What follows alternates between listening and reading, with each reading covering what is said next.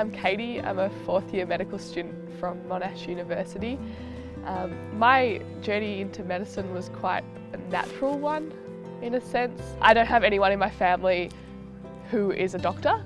My grandma is a nurse and I thought I'd be interested in medicine because I like engaging with people. I went through seven different schools during primary school and high school so I moved around a lot and when I came back to Melbourne, I was ready to settle back into the Melbourne way of life. But that wasn't to be, and I actually got accepted into the extended rural cohort of Monash University, and I haven't looked back since then. The extended rural cohort is a program that sends students out to rural Victoria for their um, clinical training years. So for me, that is my third, fourth and fifth year of medical school. Last year, I had the opportunity to train in Bendigo, and this year I'm placed in Maryborough and Mildura. Maryborough has been a wonderful experience. I've been able to see um, the wealth of opportunities available in rural GP practice. Not only do we do normal general practice consults on a daily basis that may cover um, more acute presentations like sore throats or something in your eye. We also do um, more regular review of chronic conditions such as diabetes and hypertension. I've really enjoyed obstetrics and it's something that I think I might do into the future just based on the experience I've had here in Maryborough this semester. I've been able to attend antenatal clinic on a weekly or fortnightly basis and then follow women through to the births of their babies, which is a really special thing to be a part of.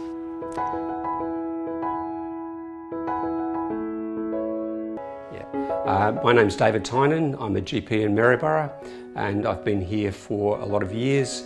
Uh, I do uh, not only general practice, but I'm a VMO at the local hospital uh, and have got uh, uh, privileges for obstetrics and anaesthetics uh, and also have a lot of involvement in the emergency department, so the urgent care centre at this hospital.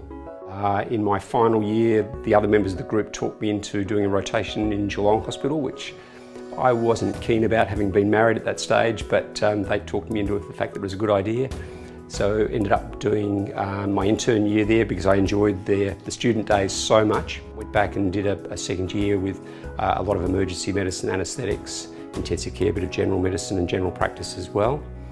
Uh, then I went overseas for a year and uh, did uh, six months of obstetrics and gynaecology in the UK, which I thoroughly enjoyed, and my boss did actually try and talk me into staying.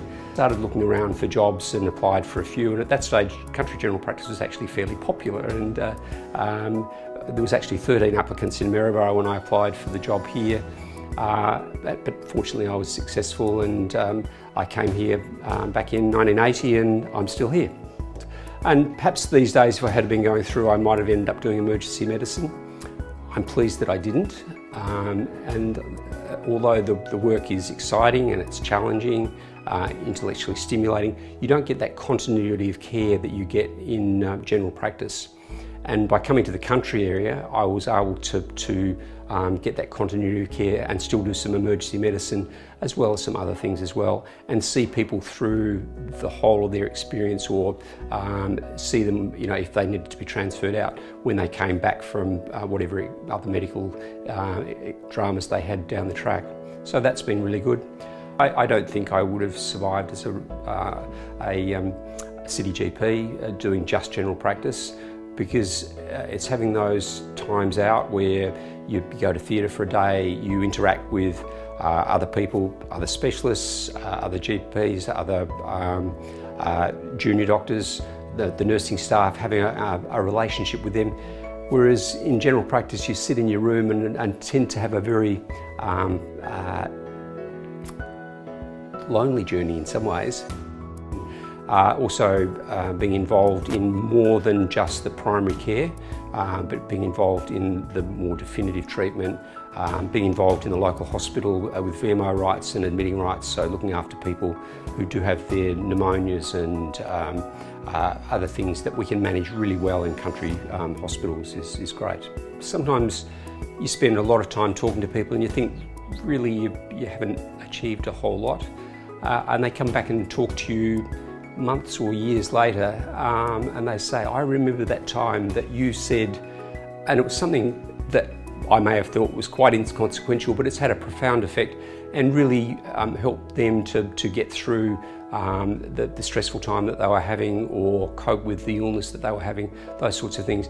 That, that's certainly very satisfying and, and does make you feel good about it.